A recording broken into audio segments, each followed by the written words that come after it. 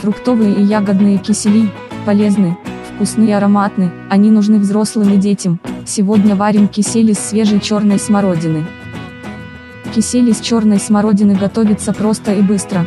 Густоту его регулируйте количеством крахмала. В моем рецепте кисель получается не очень густым.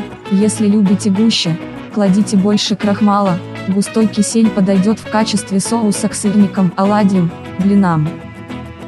Финале видео вы сможете записать ингредиенты блюда.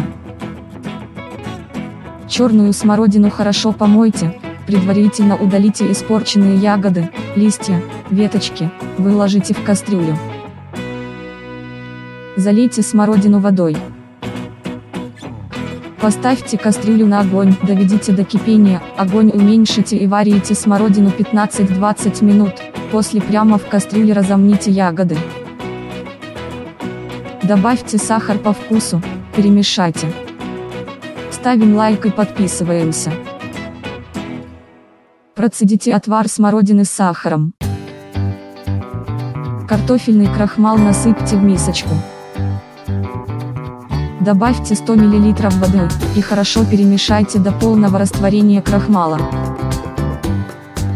Процеженный отвар из черной смородины доведите до кипения и влейте разведенный крахмал, варите 2-3 минуты постоянно перемешивая до загустения. Кисель из черной смородины готов, охладите и подавайте к столу. Подписка на канал, гарантия свежих вкусных рецептов. А теперь ингредиенты.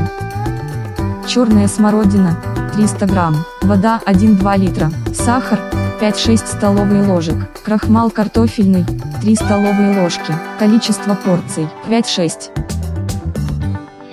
Комментируйте, подписывайтесь, лайкайте, подписка, гарантия того, что не пропустите свежие вкусняшки. Пока-пока.